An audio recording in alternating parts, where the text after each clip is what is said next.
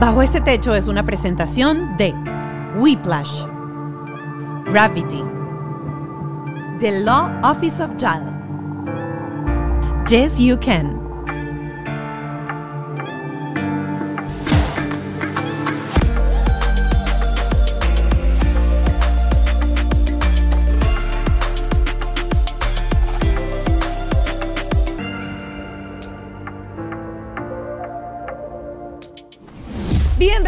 Bienvenidos a Bajo este Techo. Hoy un episodio súper especial. Debo decirle que yo tenía como cierto temor a este episodio, porque cuando uno se sienta a hablar con la familia, uno, uno conoce todos esos invitados, uno sabe si le van a meter cuento o no, no pueden mentir, hasta dónde uno puede meter la cuchara para sacar cosas y trapitos que uno conoce de nuestra familia, para aprender de todos esos errores y todos esos aciertos que hemos tenido. Hoy, en este episodio de Bajo este Techo, va a estar mi hermano, Giancarlo Pascualoto, y su esposa, Alejandra Pulido.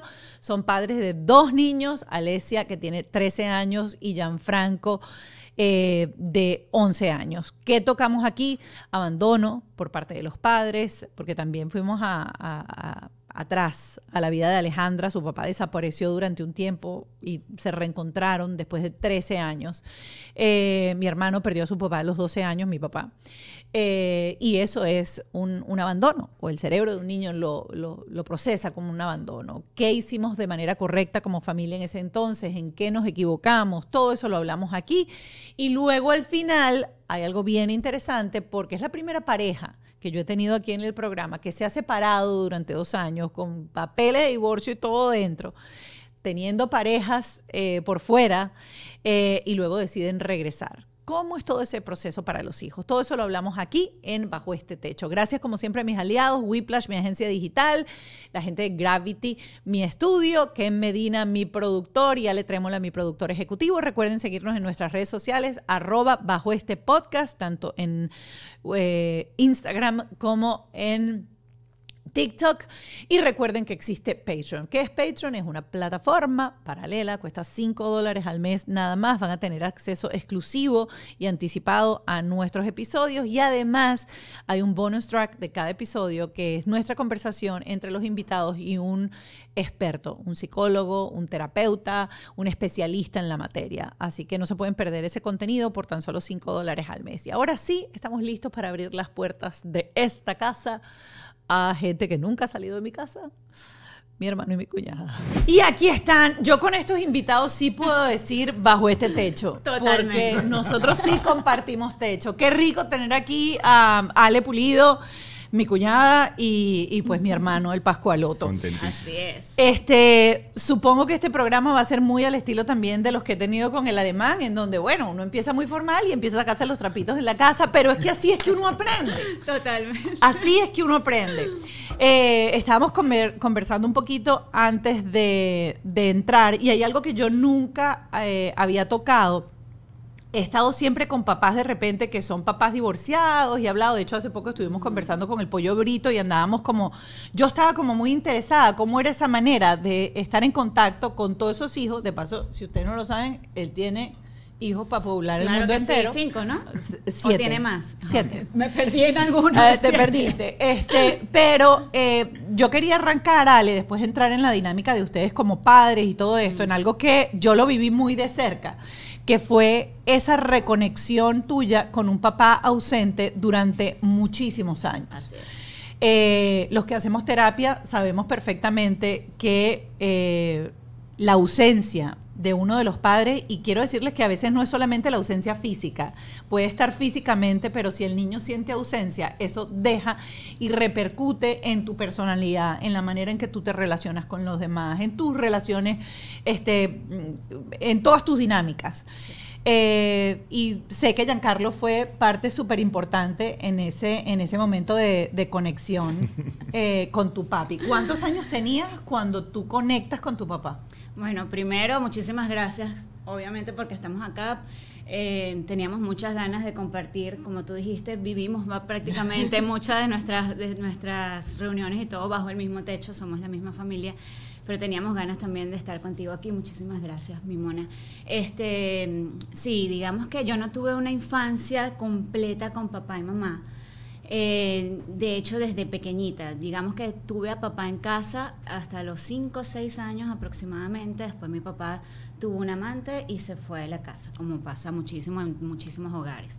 Pero siempre estuvo más o menos presente, me iba a visitar, tenía mis salidas con mi papá, o sea, las cosas normales. Pero llegó un momento ya grande, ya cuando este, voy a entrar ya a la universidad, ya estamos hablando de 17 años que tenía yo, este, le pedí cierta ayuda y cierta colaboración, me voy a acercar un poco más al, micrófono, con lo que fue la universidad y de repente no lo encontré más, este, lo llamaba, ya no, no, existían los celulares como ahorita que todo el mundo carga el celular, sino que bueno, este, me enteré que se había mudado, perdí conexión total con mi papá, o sea, no hubo manera. ¿Cuántos años fue eso? Eh, incluso con mi, la mamá, o sea, la mamá de mi papá, mi abuela tampoco perdió conexión con él. O sea, él se, se fue del mundo este, exactamente por 13 años.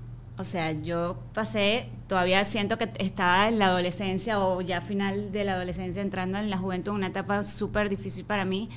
Este, me quedé totalmente aislada de, de, lo, de mi papá, de la figura paterna y fue sumamente duro.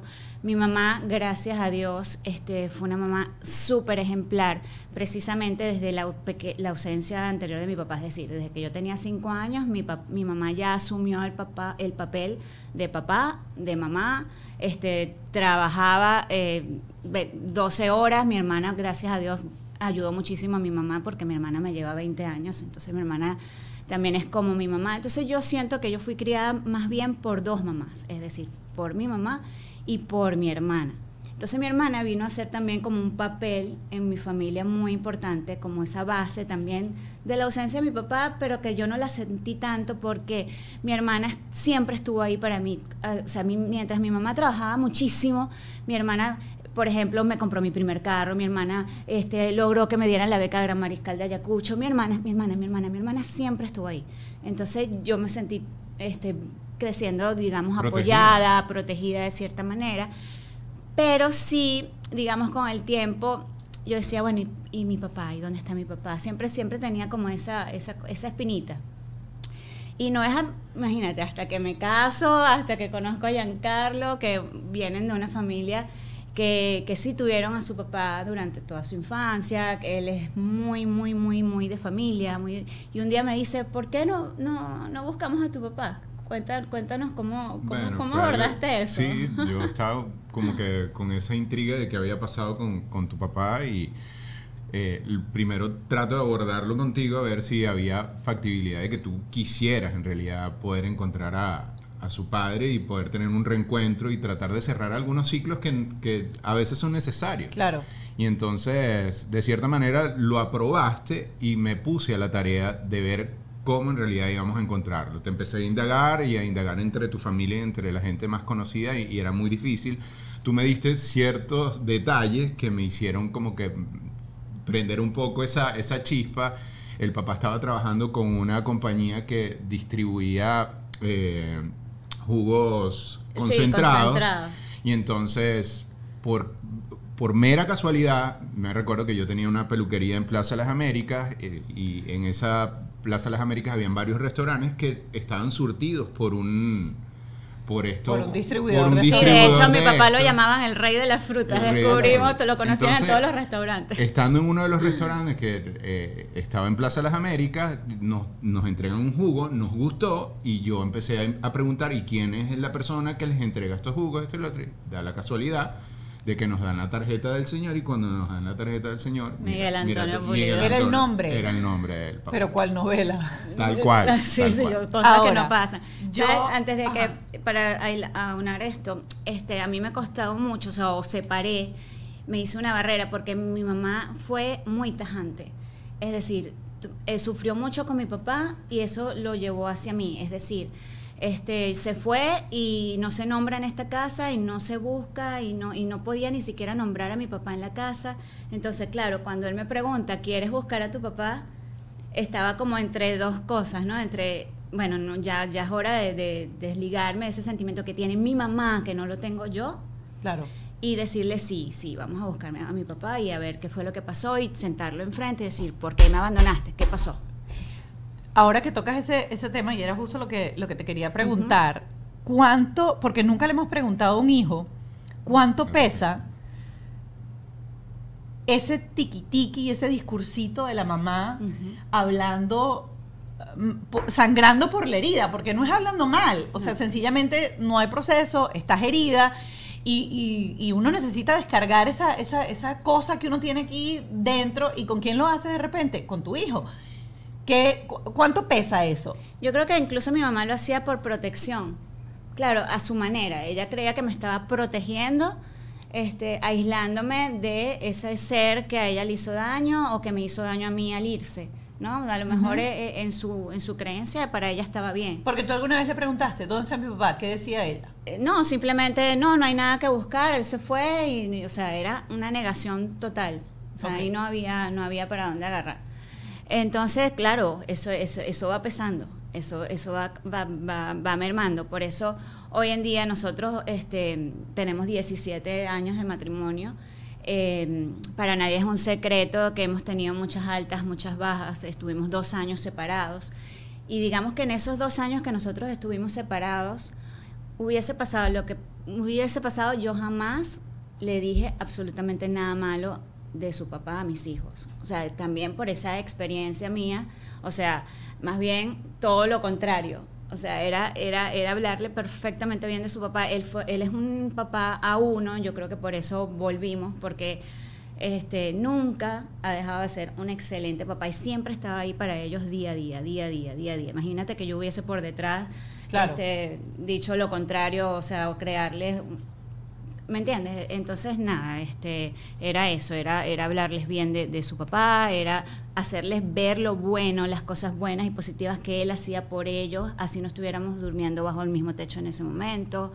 Resaltar, esa, esa fue mi experiencia, o sea, aprendí que eso no era malo porque a mí me afectó de cierta manera. Este, después, por supuesto, con los años también yo fui a, a terapia, hemos hecho terapia pareja, hemos hecho terapia individual. Este, y sí, por eso para mí es tan importante la familia, la figura paterna. Por eso hemos tratado siempre de, in- a pesar de los 20.000 problemas que podamos tener, este, arreglarlos, coser las costuras, claro. trabajarlos y seguir. No solo porque por el, el hecho de decir no por nuestros hijos, claro, es muy importante que sea por nuestros hijos, pero también porque ahorita parece mentira, ahorita es simplemente, ah, bueno, no, no, no nos va bien, este, vamos a desecharlo y por eso es que todo el mundo tiene tres, cuatro matrimonios. Eh, nosotros no somos de eso, nosotros somos de, ok, vamos a ver si se puede arreglar, si yendo a terapia lo podemos solucionar y, y podemos seguir el camino que nos prometimos juntos por nosotros. no- no En la cultura asiática dicen que los jarrones son más valiosos y valen más cuando el jarrón se ha roto y de hecho hay una, hay una técnica completa de, de eso, de cómo se reestructura con oro y se va tapando y, y mientras más grietas tiene, pues más valioso es. Viene este encuentro 13 años después. En algún momento dijiste, quiero abortar la misión, no le quiero ver la cara o cuando le quiero ver la cara le voy a- me lo quiero tragar, me lo quiero comer, tengo rabia. ¿Qué siente uno cuando ya está a punto de enfrentar este momento? Y quiero unir eso porque, aunque nosotros tuvimos un papá muy presente, tú tuviste un papá muy presente hasta los 12 años. Claro. Mi papá muere de un Muere. infarto fulminante a los 12 años y eso es una ausencia y, y eso es una ausencia muy marcada. Eh, ¿De qué manera el hecho de no tener papá y no poderlo ir a buscar para ningún lado porque no hay manera de, de- traerlo otra, otra vez, viviste quizás o proyectaste esa necesidad tuya de reencontrarte con eso que no tenías a través de Alejandra? Lo hice. Yo pienso que eh, era algo muy marcado en nosotros y, y saber que el papá de Alejandra estaba vivo y que había la posibilidad de que ellos dos pudieran reencontrarse y de alguna manera sanar y poder seguir adelante era espectacular. Primero porque había nacido, estaba por nacer o estaba, había nacido Alesia Sí.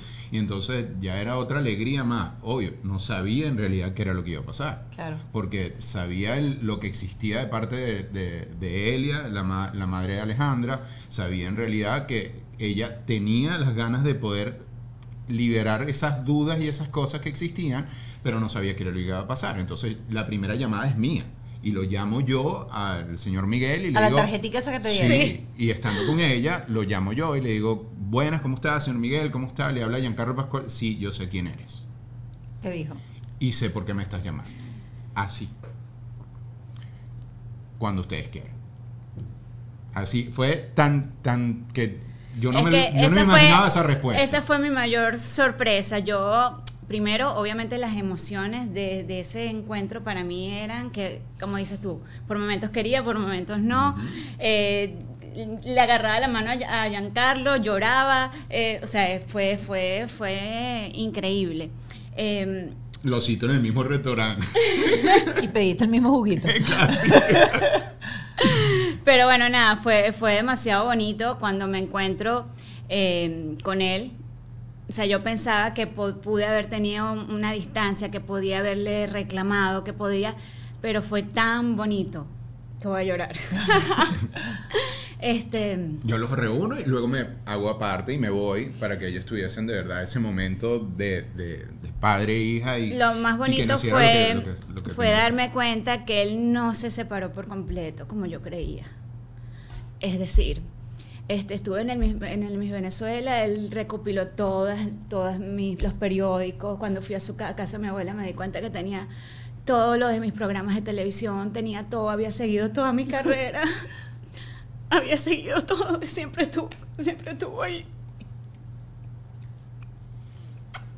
Y eso fue lo más Y esto, yo sé que esto es una historia que la están viendo años después, eh, pero yo quería hablar sobre todo este tema porque, como te digo, he tenido muchos papás separados en el programa y nunca hemos escuchado qué siente el hijo cuando hay ese vacío, qué siente el hijo cuando eh, el papá no aparece, qué siente el hijo cuando la mamá le habla mal del papá, qué siente el hijo cuando la mamá no permite que sus hijos vean a sus papás. Eh, y cuando escuchas este testimonio y cuando escuchas tu emoción y con la emoción que lo cuentas, yo espero que esto sensibilice un poco a todos esos padres que están siendo hoy barrera para que sus hijos tengan una relación sana y saludable con sus padres. Así es. Si tú eres la barrera, tú eres la persona que tiene que ir a terapia para no causarle un daño y un trauma emocional a tus hijos, porque tus hijos yo lo escuché el otro día en, en More Than Mamis, que es otro, otro podcast que habla sobre, sobre maternidad, y una de las invitadas decía, mi hijo no es responsable de que yo haya escogido X o determinada pareja. correcto. Y esa es la verdad.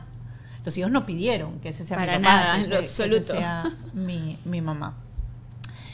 Eh, bueno, después de ahí, eh, ¿cómo fue ese que proceso? después de ahí, Ajá. Este, lo tengo que contar porque es demasiado, wow, es increíble. O sea, eh, nació Alesia y yo tengo la satisfacción, gracias a mi esposo, de que mi papá pudo conocer a Alesia. Eh, él tenía un problema en, en la pierna, piernas. ¿no? Pero bueno, era algo que era, era llevadero, jamás pensé que, que podía pasar algo por eso, de hecho no fue por eso. Pero cuando ya Alesia eh, tenía un mes, mi papá le da un infarto y, se- y fallece. Entonces imagínate la satisfacción de que, wow, por lo menos pudo conocer a su nieta, tuvo esa gran satisfacción. Y, y bueno, más toda la satisfacción, por, nos- por supuesto, de nosotros de saber este, que mi papá, pues, no me Estuvo había ahí, no te abandonado totalmente. Gracias. Eh, eh, Luisana, los Kleenex que están para sacarse las manos del baño, esos son los Kleenex que tienen que venir. No. Pero está bien, se agradece. Este es chiste interno, porque ay, tú sabes que siempre hay estos pañitos para secarse Se las manos agradece, en los se agradece. Y hay unos Kleenex que, cuando, que son para la cara. Y cuando tú te secas la mano, te, te quedan todos. Chiste interno del estudio. Gracias, gracias. Eh, volviendo un poco al, al tema de lo que es la, la ausencia paterna, yo quiero ahora tocar el otro lado. Pues. O sea, obviamente, 12 años, eh, y como, como aprendí yo en, en ese momento, el proceso de duelo de cada individuo o de cada persona integrante de la familia es súper diferente. Claro. Tú tenías tan solo 12 añitos. Sí, en, mi- en mi caso yo creo que todo duelo lo bloqueamos. Desde los 12 años yo creo que fue una persona con, con libertad. Esa libertad que me, da, me diste tú, mi mamá, porque tú en realidad asumiste un- un- una posición muy firme con mi mamá. Tú fuiste como un bastón para, para mi mamá, que era la, la, la mujer de casa. Que también no lo está- asumiste a no- muy temprana edad. no estaba preparada en realidad para lo que le pasó, porque en realidad se vino, se les vino el mundo encima. A mí, en realidad, yo pienso que las cosas que se hicieron se hicieron de una manera errónea y equivocada. Primero, al mi papá muere y a los pocos días ya me estaban montando un avión y mandándome a- Washington a estudiar inglés.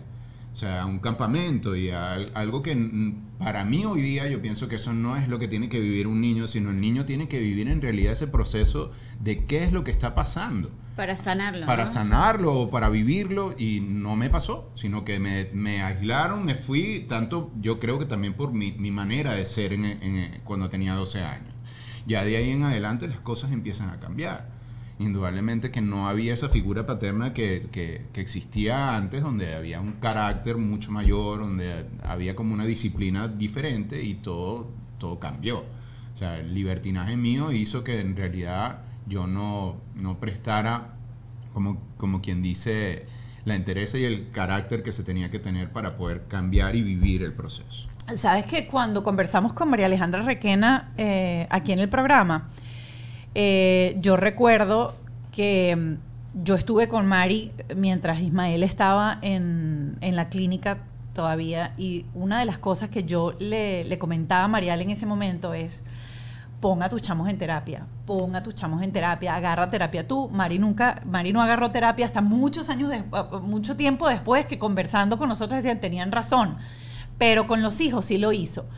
Eh, y cuando uno mira atrás, quizás lo que acabas de decir suena un poco fuerte para con mi mamá, pero lo que quiero decirle a las personas que están atravesando por momentos como este es que el problema es que uno hace lo mejor que puede con las herramientas que tiene en ese momento. Exactamente. Eh, y lo que había era una gran falta de, De todo, de información. claro. Eh, de repente, si hubiésemos tenido eh, un apoyo cercano de terapeutas, de coaches, el mismo colegio, pues la- las decisiones que se tomaron en ese momento hubiesen sido decisiones diferentes o decisiones distintas que hubiesen marcado el carácter, el, camino y, la de, de todos los que pasamos por esa experiencia que fue sumamente traumática. Y no quiere decir que porque tú pongas o acompañes a tus hijos en terapia vaya a ser sencillo o vaya a ser fácil. Aquí hemos tenido eh, conversaciones con mamás que los hijos han estado en terapia después de un divorcio y, y tuvo que pasar por dos años de una crisis de anorexia horrible, de tener a su hija hospitalizada al borde de la muerte Claro, porque cada niño es distinto. no con que todo y que existía un proceso terapéutico al lado. O sea, no quiere decir que va a ser fácil, pero vas a tener más cantidad de herramientas para poder ayudar a, a tapar ese vacío y esa manera de interpretar ese vacío del niño. Porque el problema es que tú no sabes qué hay dentro de la cabeza de ese niño de 12 años.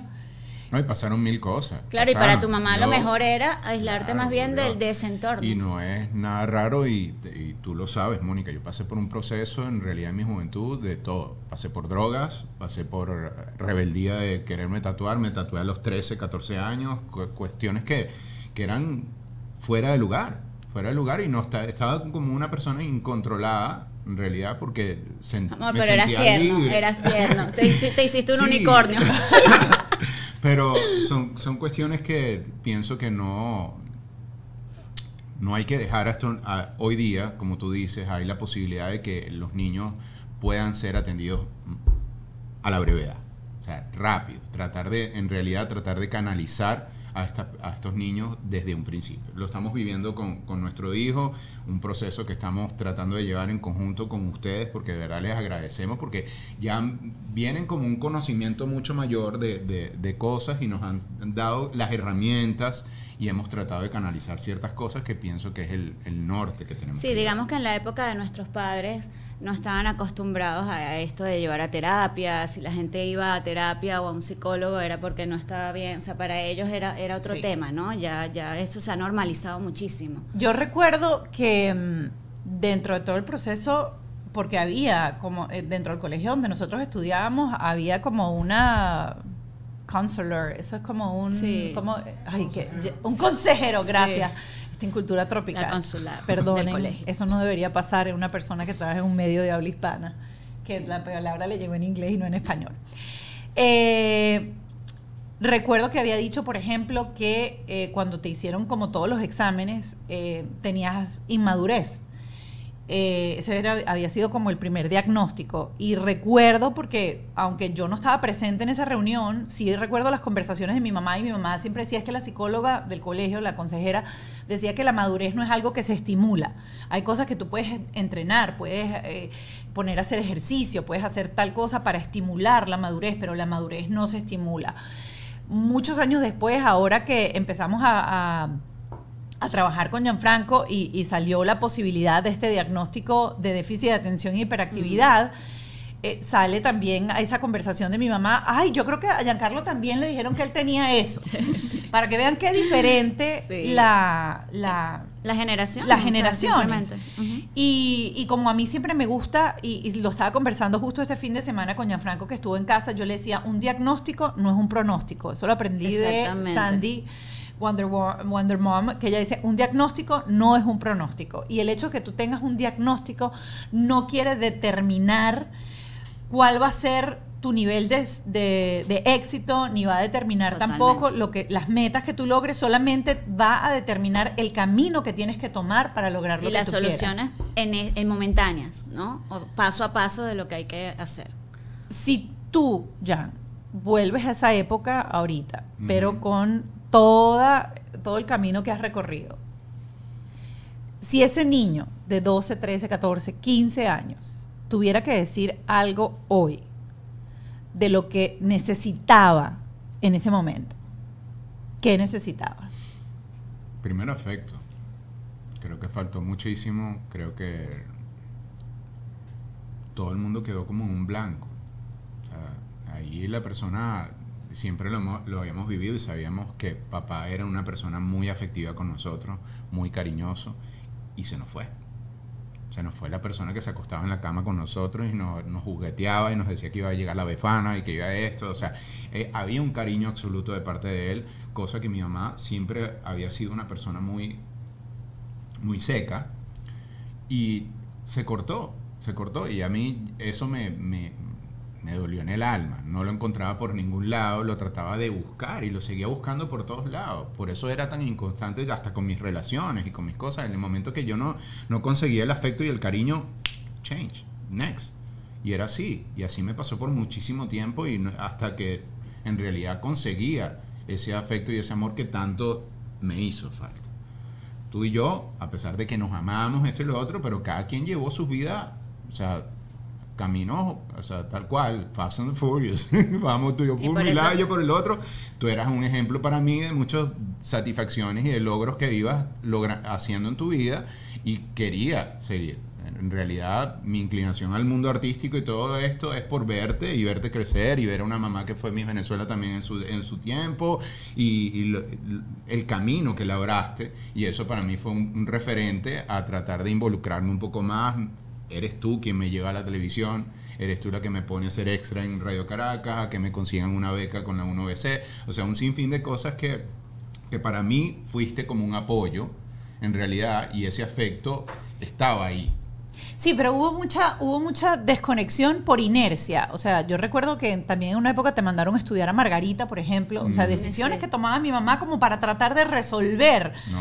Eh, pero solo, a los 16 años. Claro. Con un apartamento, con casa. Cuando con quizás lo que más necesitaba era afecto, por eso eres tan afectivo también con, con- con nuestros Con- hijos. Y vuelvo otra vez. eh, yo, seguramente este programa, pues mi mamá lo va a ver. Ujú. y, y siempre que conversamos de esto, terminamos llorando todos, pero esta conversación sale para que quienes tengan la posibilidad de enderezar el barco y no ir tan a la deriva por falta de herramientas y por falta de conocimiento, aprovechen la oportunidad. Todo se puede recuperar, eh, todo se puede reconstruir, todo o sea, lo único que no se puede echar para atrás es la muerte. Pero de ahí en adelante solo basta tener la voluntad, las ganas y, y, y las herramientas, porque yo he aprendido en el camino, yo sé que esto normalmente lo hacemos en el bloque de publicidad, pero voy a aprovechar ahorita porque Claro. la terapia cambia la vida de la gente y la cambia de una manera impresionante porque hay veces que asumimos cosas, hay veces que pensamos cosas, que, que nuestra mente está en el subconsciente, digamos, tiene un patrón para seguir algo de una manera y basta que alguien te haga una pregunta correcta para que tú digas, opsi, no, no es así. Y muchos cometemos el error. Pero la vida también hace de- terapia. Claro. Porque yo veo el cambio en realidad de mi mamá hoy día y tú ves en realidad, o sea, mi mamá Claro. tiene un antes y un después. Cuando empezaron a nacer sus nietos, mi mamá cambió totalmente. El factor cariñoso, el factor, o sea, todo. Tú ves a mi mamá ahorita y es una persona totalmente amorosa y cariñosa por producto de, de, como que no voy a hacer lo que hice con mis hijos en un momento, hay que cambiarlo, hay, ha habido terapia, porque en, en realidad tú lo que tú le has podido comentar y decirle a mi mamá, yo pienso que ha hecho que también haya un cambio de parte de ella. Y eso es fabuloso. Ella no quiere que yo yo me pongo de carácter fuerte con mis hijos y ahí está mi mamá que antes agarraba una Pero chola y te la la- lanzaba. la- pero así no. también, así también son, son los abuelos, obviamente, y es el papel, Claro, claro. y es el papel de, de los abuelos. Pero la imagen de tu negocio es demasiado importante para dejarla en manos, como diría una protagonista de telenovela, de cualquiera. Porque la gente cree que es un logo. Pero no, no, no, no, no. Es todo, es el estilo, los colores, el tono de comunicación. Todo comunica la calidad de tu producto o servicio. Yo te recomiendo buscar al mejor equipo. Sin duda, Whiplash, porque no solo crean marcas increíbles, sino que además te asesoran en el proceso. Te hacen preguntarte qué es lo que tú de verdad necesitas, en qué debes invertir tu tiempo y tu dinero. Acércate a los que saben en whiplash.com, le das al botón rosa y agendas una cita con ellos así de fácil. Miren, este estudio es tan bueno que hasta el pelo las luces te lo cambian. Por eso yo grabo en Gravity, porque son un one-stop studio. Si no sabes qué es eso, no te preocupes, es un espacio en donde tú no tienes que hacer absolutamente nada, preocuparte por nada. Ellos cuentan con todo, con los backdrops, la iluminación, la sala de espera, la sala de maquillaje, todo lo que tú necesitas para tu sesión de fotografías, de fotos, de video, de creación de contenido, de lo que necesites. Visita su página web, gravity.com, o síguelos en sus redes sociales, arroba gravity, para conocer más sobre sus servicios y sus membresías. ¿Quieres solicitar tu ciudadanía estadounidense? Yo sé que hay mucha gente que te dice, ay, no, chico, pues eso lo puedes hacer online, tú llenas la planilla y ya está. No, no, no, esto no es algo para tomárselo a la ligera, porque te equivocas en un detallito y te pueden negar la posibilidad de tener ese pasaporte azul con el que todos soñamos. Te recomiendo la oficina del abogado Juan Antonio Lozada, arroba the Law Office of JAL, para que llenes las planillas como debe ser, para que coloques todos los datos que tienes que colocar, para que no te falte un solo detallito. Yo estoy a punto, a punto, a punto de celebrar ese pasaporte azul con mi mamá. ¿De quién? De la mano de Juan Antonio Lozada en arroba the Law Office of JAL. Quiero presentarles este producto que es lo máximo, es un fat burner que no tiene cafeína, no te acelera y de paso te ayuda a quemar esa grasita. Lo puedes usar si quieres perder peso, pero también lo puedes utilizar si quieres desarrollar músculo magro y estar pegadito, pegadito, pegadito. ¿Cómo se toma? Un shot todas las mañanas. Mm. En ayuna es lo máximo. Tiene limón, tiene vinagre de manzana, tiene cromio picolinato y tiene L-carnitina. Todo lo que necesitas para estar pegadito y rayadito con la gente de Yes You Can. Aprovecha, se llama Fat Burner. Si tú en este momento estás viendo algo y dices, yo conecto con esto, eh, esto me pasó a mí, yo quiero probar, aquí abajo en la descripción de este video vas a tener el link para que hagas el enlace a opción yo. Puedes estar en cualquier lugar del mundo. De repente te tocó vivir en Emiratos Árabes y tú no puedes ir a hacer terapia allá porque no, no sabes hablar el idioma. Pues tienes opción yo que tiene tarifas increíbles al mes y te va a dar la posibilidad de abrir una puerta. Miren, no en vano tengo tantas amigas ahora alrededor que andan igual que yo diciendo, haz terapia, terapia, terapia, terapia. Sí, tal cual. Yo Porque soy la una. vaina funciona. Porque es, es que es eso, nosotros creemos cuando nos casamos y decidimos tener hijos que podemos criarlos como nos criaron a nosotros, ¿no? Porque yo, yo estoy bien, tú estás bien. yo- entonces, de hecho, cuando éramos novios, yo discutía mucho con Giancarlo porque él me decía, no, no, yo los voy a criar, si se portan mal, les doy una, les doy un... la-". Y yo pensaba, Dios mío, si este hombre le llega a pegar a mis hijos. Porque este carajo recibió chola. Bueno, correa. pero yo no, yo era lo contrario. Yo decía, este hombre le, metía- pone una- un dedo encima a mis hijos y yo me divorcio. Mi y mamá vivía- le con ese correazo y, no, y lo metía a la ducha fría. No joda. Mamá, perdón, pero te- o sea, Pero- esa era la época, pues. Mi, mi abuela, recuerdo que mi mamá Dios le tenía mío. pánico, era los pellizcos de mi abuela, que tenía siete hijos, te podrás imaginar, Ah, no, controlar claro, siete hijos. Ella esperaba calladita a que se le acercaran y le dejaba aquel morado en el brazo. Después, ¿te acuerdas hace tres días que hiciste tal cosa? Bueno, ahí lo tiene. Pero bueno, hoy en día sí tenemos Sí. las herramientas de buscar ayuda, que es lo más importante, porque hay otra cosa, hay otro factor, que cada hijo así crezcan bajo el mismo techo, con el mismo papá, la misma mamá, van a ser distintísimos los unos de los otros. Entonces, no hay manera, tienes que tener las herramientas para saber qué hacer cuando tienen determinados comportamientos, porque a veces uno dice, no, bueno, ya soy mamá de uno, de dos, ya yo sé cómo criar al No, tercero, pero resulta que el tercero te salió Pero te completamente Mónica distinto. nos da la opción de conocer a una, a una persona maravillosa que se llama Lorena. Así es. Te amamos, Lore. De verdad que ha hecho maravillas con el comportamiento de Gianfranco. Porque, ¿De Alesia? Pero no- nos hemos enfocado un poco porque Alessia ha agarrado madurez con los años y como que ha entendido en realidad muchísimas cosas y, y no le ha afectado a como en realidad Gianfranco es más sentimental, es un niño... Era muy- más cerrado y Lorena hizo que se diera más a, a nos- a todo el entorno, a que se expresara muchísimo más, eh, e- expresara eso, sus sentimientos, que de repente tú lo veías con carita triste cuando lo recogías del colegio y ¿qué te pasó? ¿Qué pasa? No, todo Mm, está bien. de no decir. Y de repente después de las terapias de Lore ya no, mira, es que el, el niñito me hizo esto y esto, y entonces ya empezó y tenemos la forma de hacerles las preguntas correctas para sacarle esa información que antes no que antes no teníamos. Entonces son herramientas que te la da el terapeuta, no te las da Claro, nadie. claro, porque es que eso uno llega y ¿cómo te fue al colegio? Bien. Bien. Y ya está. Y hay que empezar a dar la vuelta para sacar con cucharita Horrible, horrible. la información. Mire, ¿alguno de ustedes recuerda una frase de esas que decía mamá? Eh, cuando tengas tus hijos ya verás. Uh, por supuesto. ¿En qué ocasión? ¿En qué momento? Mira, yo no tanto, ¿Qué típico? yo no tanto, eh, porque yo fui la niña buena. Mi hermana era la que La era tremenda. la tremenda, la que era un desastre. Mi mamá una vez hasta quedó con yeso en la mano porque le fue a pegar, pues y le salía corriendo y se dio con un video y quedó con la mano. Bueno, todos los cuentos son, son, Con la pobre Ana. la- por mi hermana. Yo creo que yo fui una santa para, porque el- el- Dios dijo, vamos a darle, vamos a darle a, a Elia un poquito de tranquilidad en su vida. Este, pero sí, lo escuché mucho en mi casa y varias veces también. O sea, mi mamá lo vivía diciendo. Yo en nuestra, en nuestra casa, no sé si te lo digo a ti, a mí no, no, no, no lo escuché. ¿Cómo que no? No, de parte pero de mi mamá no. que mi mamá no era tan... No. No. Yo tampoco recuerdo que mi mamá, cuando tengas tus hijos ya verás, no creo. Claro, yo también era la...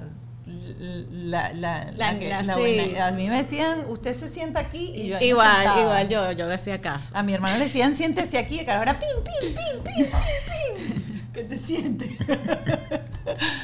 Pero, mira, ahora viene eh, la etapa de, de la adolescencia, porque Alesia está entrando ya ahora en los 13 años. Lo pensé ahorita. Eh, y yo recuerdo, yo no sé si fue el año pasado, cuando fue un drama, pero que fue así el primer drama cerca que yo tuve de amores así, del amiguito, y que resulta que el amiguito era el tipo popular de todas las niñitas del colegio, y que si el niñito se cambiaba de colegio, ellas iban a cambiar todas de colegio. Yeah. Mira, yo voy a hacer una serie Ajá. que se va a llamar Aventura Waterways. Ok.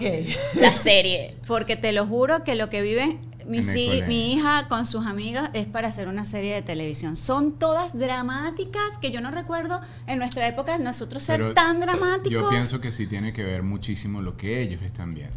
Ok. Alesia está influenciada por todos lados con lo que tiene que ver las series que se están viendo los niños. ¿Qué series bien? Porque yo no llegaba, yo todavía Hasta Peppa series viejas. Sí. Alesia se pegó con Rebelde, Rebelde Way, Way, que es Ajá. argentina, donde que estaba era Catherine te- hace 20 años, ya esa gente es de nuestra edad. Pero es una cuestión de que... Pero eh, esas son, son, son fuertes, Sí, esas. Rebelde Claro, Way. porque son, las son las niñas rebeldes que no le hacen caso a los padres y que no sé qué. Entonces, como que empiezan a. a- Alesia, yo tengo un- una cierta situación, bueno, no me gusta decir problema con ella. Es que ella no, no tiene una personalidad, eh, digamos, definida. Es decir, ella sale con una amiguita colombiana y, y llega hablándome colombiano y con todos los gestos y con, hasta sube las cejas y la niñita sube las cejas. Eh, Que es lo que yo he ido trabajando con, con, Ay. con Alesia. Voy a pasarles aquí, que es el portón de mi casa. Bajo este, bajo este techo. ¿Quién es? No, por si a las moscas. Y Pero- eso lo he tenido que trabajar mucho con Alesia, porque entonces me ve la serie y tú la, la ves hablando y haciendo los gestos y no sé qué. Entonces empieza a escuchar que los adolescentes son rebeldes. Yo no sé si es que ella le dio la rebeldía, fue porque ella escucha que los adolescentes Pero son rebeldes, porque el cambio fue tan drástico. El tema amoroso, que es lo que tú estás hablando, Sí, sí. lo ven mucho ahí. O sea, es la niña que se enamora de este y se enamora del otro y el, el conflicto y la broma y lo vive. O sea, es tanto que le suban las manos y se pone... Ella ve una película y, y apenas ve una escena de que alguien le está cayendo a alguien, ni siquiera de, de besos ni nada, ya empieza a sudar, ya empieza, ya empieza- pues claro, ya, Es un cambio es un. Despertar, es un Pero despertar. es muy normal y lo vamos a hablar. Vamos a tener a Alexandra Lombardo eh, en el Patreon de este programa eh, para conversar con ella, con una terapeuta, acerca de estos temas que van saliendo por el camino. Y esto es súper interesante porque justamente en la adolescencia, eso que dices tú, recuerdo creo que fue Vida Gaviria, eh, un programa especial que tuvimos con ella, ella comentaba que el proceso de la adolescencia, y Yugle también lo dijo, es un proceso de exploración, Total. es un proceso de encontrar tu identidad. Por eso de repente que si tú sales con tu amiguita colombiana, quieres jugar a ser a tu amiguita colombiana para descubrir qué cosas de esa amiguita van a formar parte, Parte de de, ti. de lo que tú eres. Claro. Y Julie hablaba incluso de la exploración sexual, o sea, el hecho de que un adolescente de repente se dé un beso con otra niña o se dé un beso con un niño es sencillamente un proceso de exploración, no determina ni siquiera su su, su, su- su preferencia. Y lo otro que me llamó mucho la atención y quiero traer aquí a, a colación es que ese deseo de llevar la contraria a los padres o hacer lo que Ah. dicen los o lo que no dicen los padres es precisamente esa etapa que cuando tú lo entiendes que es algo neurológico, que es algo normal, Difícil de entender. claro, pero cuando tú sabes que eso está, que eso es así. puedes, puedes, puedes contener a ese adolescente de una manera diferente, Claro. porque ellos están empezando el real proceso de cortar el vínculo de que yo soy parte de ustedes. Sí.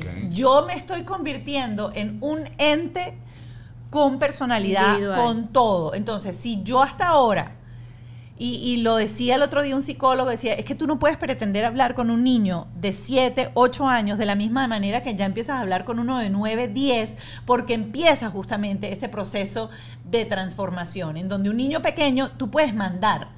Tú Claro. puedes decirle, recoge tu ropa, tú puedes decir, tú puedes dar órdenes. Sí. Y el niño, como está tan conectado contigo, Lo él hace. va a recibir la Claro. orden.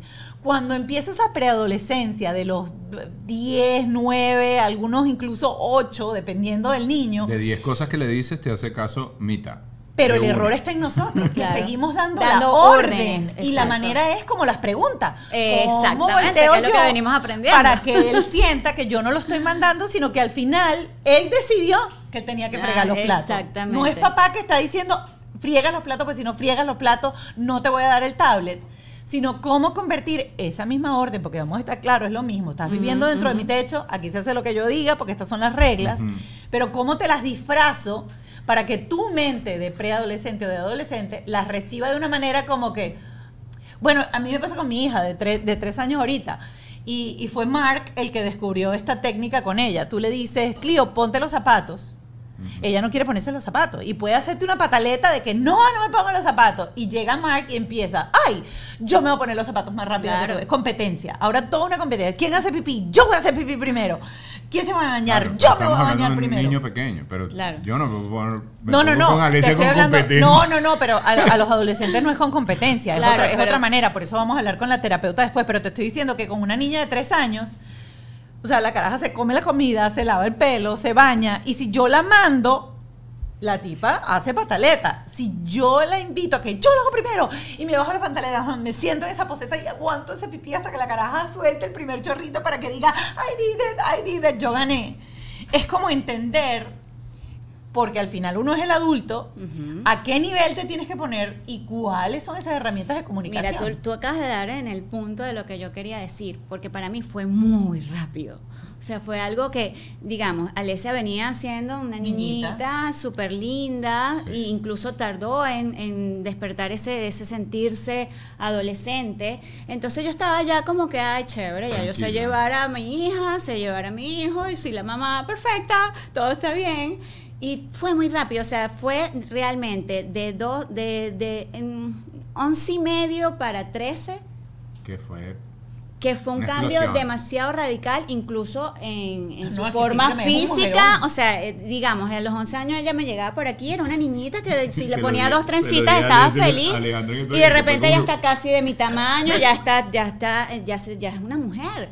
Y, nos, y entonces ese cambio, ese mismo cambio físico lo hizo a nivel eh, todo, a nivel emocional, y para mí fue muy, muy rápido y muy brusco. Gracias a Dios, yo tengo tenemos ambos una comunicación con Alesia exquisita, divina. Esa niña se comunica con nosotros de todo, llega y me cuenta todo y eso me, ha hecho las cosas un poco más fáciles, sin embargo, a veces chocamos muchísimo por eso, porque no, no sabía o a veces se me olvida ese interruptor de que ya no es una niña, ya no le puedo mandar. Y aunque tú lo sepas, y aunque tú lo sepas, eso, eso o sea, uno está cableado de una manera diferente. Es un trabajo, es un trabajo de día a día y, concientizar nosotros eso. Este, su proceso ya no es el mismo, hormonalmente no es, no es la misma y hay que trabajarla de manera distinta, porque a veces eso, te están, te están ahí retando y tú en el momento claro, eres tú el que tiene que bajar los niveles, pensar y ver la forma en que vas a comunicarte, hablarle para que ella no se lo tome a mal, porque todos se lo toman a mal, todo es este es en mi contra, eh, si este, le tomo a esas otras. Está ahorita en este momento como cuando era chiquita que dos años que nació Gianfranco y tenía esos celos y esas cosas, ahorita lo retomó entonces es como que, ay, sí, tu niño consentido, o sea, ella ahorita está, quiere más amor, quiere, quiere más cosas. Entonces es un proceso de verdad que nosotros tenemos que, wow, llevar, centrarnos, estar tranquilos, saber cómo, cuáles son las preguntas correctas, la forma correcta de comunicarnos con Alesia. O sea, todo es como nuevo. O sea, yo me siento que estoy como... Son etapas que te Son etapas. O sea, salí de mi zona de confort porque ya ella está en otra etapa. Entonces es aprender a llevar esta nueva etapa. Voy con, con esta pregunta, porque ustedes en, en, en, esto son, o sea, súper diferentes del cielo a la tierra. Tú creciste en tu casa, tu mamá, mamá añosa, tipo yo, mamá vieja, con una hermana 20 años mayor que tú. Fuiste a colegio de monja. Total. Este, y por el otro lado, pues nosotros teníamos una casa muy abierta en muchos sentidos. Yo siempre he echado el cuento aquí que mi primer sostén me lo contó, me lo compró mi papá. Mi papá decía como las pastillas anticonceptivas. Mi mamá llamó y dijo, dígale a su novio que vaya y que le compre tal cosa. Este, mi casa, nosotros desayunábamos en la mañana y que, ay, sí, ayer me encontré a, mi hermano en el Aladín, en un, en un hotel, con mi mamá. O sea, era una casa muy muy abierta en cuanto a lo sexual. cosa que yo agradezco, por ejemplo, enormemente, porque yo el día que yo decidí tener relaciones sexuales fue una decisión. Yo sabía qué quería, con quién quería, que me tocaran qué, dónde, cuándo y cómo. Pero gracias a Dios con Alejandra ha habido esa libertad. Ella me ha dejado ser un poco libre y me ha dejado ser como éramos nosotros en casa. Y quiero que traigas eso porque quiero saber cómo es esa comunicación. Tienen una niña que ya está desarrollada. Sabemos que aquí los colegios la cosa es una cosa como, bueno, no sé si es verdad o no, pues no tengo hijo adolescente, pero que la cosa es medio heavy. Es fuerte. ¿Cómo tú preparas? Porque al final la decisión de si tu hija va a ser loquita y se va a acostar con medio salón, si tu hija va a guardar la florecita para el momento que la quiera guardar, este, si tu hija la van a embaucar el día de la prom y el novio la va a hacer sentir mal y la va a presionar para cogérsela ese día, para hablar con las palabras claras, porque hay muchos escenarios. ¿Cómo ustedes preparan o cómo ustedes entablan ese tema en donde, vamos a estar claro, tú sabes todo lo que puede pasar, ha habido y por haber. Primero la confianza. La confianza que ha existido con Alesia ha sido fundamental. Alesia habla con nosotros. y se comunica con todas las cosas, nos dice en realidad hay una hay un ansia de poder besarse por primera vez, de, de- de- de vivir en realidad ciertas cosas, todavía como que lo ha mantenido ahí. Y lo que ha pasado con ciertas amigas, porque han pasado cosas graves también en el colegio y, y han sido como marcas para ella. Niñas con drogas en los, en, en- en los baños, o sea, todas las mayoría de las amiguitas de ellas ya han tenido y han pasado por algunas cosas, entonces, eh, Va- vamos, vamos a ir picándolo así. Vamos a empezar con la droga. ok. Este surge esto, por ejemplo, de eh, chamitos encuentran en el colegio con droga. Ella viene a la casa y como tiene confianza con ustedes, Lo comentan habla. y Sí. hablan. Una cosa que nosotros hemos conversado aquí, Ralph y yo, era cómo hablarle del tema de las drogas, porque yo nunca probé ninguna, hasta el sol de hoy, nunca he probado ninguna droga. Él ha probado drogas. ¿Cómo tú le dices a tu hijo, yo probé, el decirle a tu hijo, yo probé, le da permiso a él a que pruebe? Eh, ¿Cómo abordan ese tema? O tú le has dicho, mira, este, yo... Mira, yo soy de los padres de que si quieres probar algo, la, la mejor forma es hacerla y comunicarla con sus propios padres. Saber qué es lo que está pasando, qué incertidumbres tienes, qué, qué, qué ganas de conocer otras cosas quieres hacer y ya tú tienes que saber decirle las cosas a los niños. Yo se lo digo desde el punto de vista mío. O sea, tú le lo- has contado que yo tú- le- claro, tú totalmente. Yo se lo he dicho y le he dicho que son cosas totalmente fuera de lugar, porque en realidad lo hice por rebeldía, lo hice por cosas que no he debido, por juntarme con gente que no he debido juntarme en, eso, en, en esa etapa de mi vida y que son malas. Que eso te conlleva a tener mm, peores cosas y se va poniendo cada vez más fuerte. Una droga te lleva a la otra y así, y hasta que puedes llegar hasta la hasta perder perder, tu vida. Sí, nosotros no perdemos oportunidad de con ejemplos mostrarle el daño que hacen las drogas, incluso eh, Hasta más pequeños, películas. incluso más pequeños. A Gianfranco, Gianfranco es un niño que ya sabe hasta el olor, porque aquí obviamente todo el mundo fuma marihuana, y me dice, ay mamá, están fumando marihuana, y por o sea, no saben lo que les va a pasar, ya ellos saben los daños que- mentales que pueden tener, la- las cosas que pueden acarrear, entonces ya ellos están. De hecho, este grupito del colegio Alesia, que ahorita cayó, cayó en eso, el año pasado a ella le hicieron, le empezaron a hacer bullying, le, la empezaron a hacer... Porque no estaba pegadita en el Porque no grupo. estaba en el, pegadita en el grupo y a este, eso fue mucha conversación con nosotros, mucha conversación. Incluso yo llamé a la mamá de ella, de, de la niña para Pero ver hubo qué- castigo. O sea, Sí, hubo ella vio el castigo que, que pasó con esas niñas y, eso es importante. Al ver que en realidad, que ya sabes las consecuencias que vas a tener en realidad si te llegan a, a cachar o hacer o, o- o incurrir en este tipo de cosas.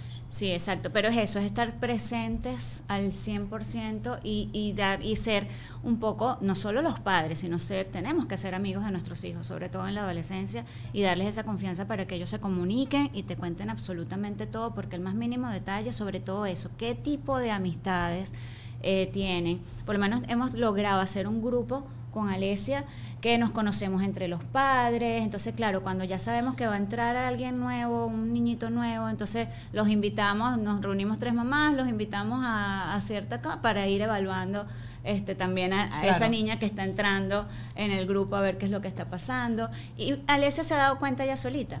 Y eh, Alesia junto con Camela y Paulina, que digamos que son las tres que están ahorita más, y ellas mismas se han alejado de esas que ya están incurriendo en drogas, que están incurriendo en salidas que no tienen por qué hacerlas en estos momentos con, con los niños, en cosas. Entonces, este, creo que hasta, mismo hasta como ahora... eso, el mismo experimentar y hacer cosas que en realidad no, eh, para mí están fuera de, de la edad. Claro, a veces Alesia me dice, mamá, quiero tener novio porque ya todas tien- han tenido su primer beso, entonces eso, no hay apuro, porque estás apurada, cuéntame, este, que porque, porque tienes esa necesidad y es que ahí vienen ya eh, Claro. las, las preguntas, las conversaciones, entonces, y le cuento mis experiencias, que yo no tuve hasta los 16 años mi primer novio, entonces, bueno, ya ella se queda más tranquila, este, y así vamos. ¿Y o sea, con el día a ¿Qué le día, cuentas? vamos en el día a día. Le cuentas tu experiencia. No, no, no, con respecto a eso no. Claro. Trato de mantenerme fuera, fuera de, de, ese, de esa conversa, pero sí. Claro, pero en el fondo de repente tú dices, coño, yo quiero proteger a mi hija también, Claro, porque, Claro. porque, le digo, porque primero tú le como digo, hombre sabes si que no hay quieres afuera hablar también. conmigo, háblalo con, Con tu tu mamá, Eso es lo primero que le digo. En realidad, sabes que conmigo puedes tener la confianza de hablar cualquier cosa. Le he explicado qué fue lo que pasó contigo y con mi papá y esa confianza que hubo. Y yo pienso que eso la ha hecho ella un poco más libre de hablarme, no completamente. Sé que hay una confianza plena con la madre y eso me, me da a mí un alivio como padre saber en realidad que, que le va a comunicar a Alejandra en realidad cuando vaya a pasar algo o que quieran que pase algo. Entonces ya por ahí estoy tranquilo, sé que como padre tengo que decirle las cosas bien y decirle en realidad como me lo dijo mi papá, existen métodos de protección, esto, si tú decides hacer algo tienes que pensarlo 20 mil veces antes de hacerlo, le decía, comunicarlo, hacerlo y, y, ya, yo no soy quien en realidad es decirte de que no lo vayas a hacer y a cuándo lo vayas a hacer es una cuestión de que tú lo tienes que expresar y comunicarte con, con mami y tratar de que, de que haya de verdad un buen camino para estas cosas. Desilusiones las vas a tener. Claro. O sea, es algo que va a vivir y es, ahí es donde uno tiene que estar en realidad como padre para decirle, mira, sí, lo pasaste, lo viviste, yo también lo viví y ahí saldrán algunas cosas de lo que nosotros hemos vivido como, como personas. tú estabas al principio de todo esto diciendo este, que cómo hicimos nosotros con hogares tan diferentes, ¿no? Y al principio era, era, era comiquísimo, sobre todo cuando nació Alesia, cuando nació nuestra primera hija, porque las dos abuelas estaban en la casa. Entonces venía tu mamá y destapaba a Alesia porque ella estaba acostumbrada que no al calor y mi mamá venía y la tapaba y, el, Y, el, gorrito y así era con cada cosa, eran contrarias, eran contrarias para todo, contrarias para todo, hasta que nosotros decidimos, ok, vamos a nosotros hacer el equilibrio y tomar de cada una lo que nosotros queramos para, para nuestros hijos y así fuimos, bajo ese concepto fuimos, fuimos creciendo. Yo creo que el ejemplo es lo que nuestros hijos también este, han ido a, Pero como te digo, Alejandra en ese aspecto como que a pesar de que venía de una, de una familia diferente a la de nosotros, entendía que que en realidad mi, en mi familia no nos, importaba caminar desnudo por la casa. Claro, no fue empezamos a buscar a buscar a buscar centros. Nos supimos acoplar. De, de hecho, este, a mí eh, yo no lo hacía en mi casa, pero ahorita mis hijos, o sea, yo, ese parte, digamos que me acoplé a, la familia de ustedes, de repente ves a Gianfranco por ahí ah, en pelota, chévere, no pasa nada. Yo, Me, yo me he visto delante de Gianfranco. Exacto. Pero ah, hay un cuento muy cómico, yo una vez invité a unas amigas para mi casa y se quedaron a dormir en mi casa y mi papá se acostaba en la cama desnudo a leer el periódico. Pero él deja la puerta abierta porque es como que, ¿cuál es el peo? Pues está el cuerpo humano. Yo me bañé con mi papá hasta los 16 años, nosotros caminábamos por todos lados y nadie se tapaba nada, nadie miraba nada. Y recuerdo que llega esta carajita, mi cuarto estaba justo enfrente del cuarto de mis papás y esta niña llega a mi cuarto blanca, pero blanca sí. Y yo, ¿pero qué, qué pasó? Y yo, ¿qué pasó? Dice, no, que tu papá esté en la puerta abierta y está desnudo y acaba leyendo el periódico. Yo, ah, sí, eso es normal. Eso, es normal. Eh, para cerrar, ¿qué ha sido lo más complicado para cada uno, lo más retador de este viaje de convertirse en padres? Tan, tan, tan. Para mí, algo que no, lo tocamos, pero sí me tenía con mucho nervio esas separaciones que yo tuve con Ale mm. y el momento que nos reenganchamos, el saber en realidad cómo, cómo afectaba eso a nuestros hijos.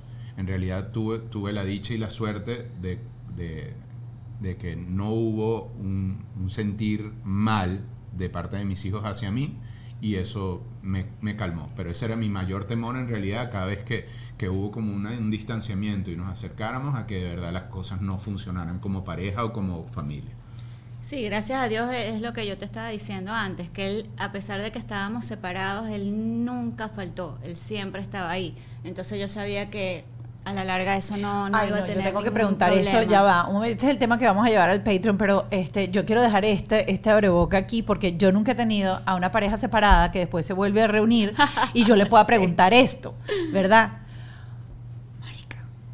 Porque yo sé que tú dejabas que los chamos salieran con las parejas de... No, una, una. Con una, ok. Pero, ¿cómo hacías, chama? ¿Qué te decías por dentro para no decirle No, y para colmo, eh, eh, mis hijos estaban entre los 4 y 6 años, o sea, Ajá. 4 y 6 años, o sea, estaban súper chiquiticos, que a esa edad tú dices, todavía les afecta absolutamente todo lo que ¿Y cómo le dijiste con los otros? ¿Llegaban a mutuo acuerdo? Le decías, mira, todavía no, no salgas, no, no. No, mira, porque es que yo, yo- le he preguntado a los padres por separado, pero nunca han estado aquí para decirse, ta, ta, ta, ta. No, este sí, sí, al principio estaba totalmente negada. O sea, yo creo que al principio te decía que no y tú mismo te, te- habías tenido como cierto, cierta barrera. Fue un viaje, un viaje que él hizo a, Un viaje a y un Margarita. que fueron las cosas como más. a Ay, Margarita. no, yo tengo que dejar esto aquí. que yo me voy a dejar esto aquí. No, no me lo digas aquí. No me lo vas a decir acá. Esto se va a poner candela en el Patreon, pero quiero que esta conversación la oiga. eh, alguien a quien aprecio mucho, eh, Alexandra Lombardo, que va a ser nuestra terapeuta, es psicólogo clínico, analista conductual, autora del libro La familia de Alex, experta en entrenamiento de padres y familia. En redes la podemos encontrar como Vamos con Ale. Así que este va a ser uno de los temas que vamos a tratar en el Patreon. Y, y bueno, obviamente vamos a, a retomar la parte de, de la adolescencia que tocamos aquí un poquitico y otros temitas que eh, quedaron por ahí en el aire. Maravilloso. Así Terapia. que Nos con terapia, terapia. Si quieren ir al Patreon, es muy fácil. Estás escuchando esto por una plataforma audible o estás viéndolo en YouTube. Aquí vas a ver abajo seguramente las coordenadas. El Patreon son 5 dólares al mes y vas a tener siempre acceso a todos los episodios que hemos grabado con nuestros invitados y nuestros eh, especialistas. Así que de una nos vamos para ese Patreon. Gracias por haberme acompañado. Gracias. Gracias por haber aceptado la invitación. Y, y bueno, nada, por compartir este episodio de Bajo este Techo. Nos vemos. Bajo este Techo fue una presentación de Whiplash, Gravity, The Law Office of JAL, Yes You Can,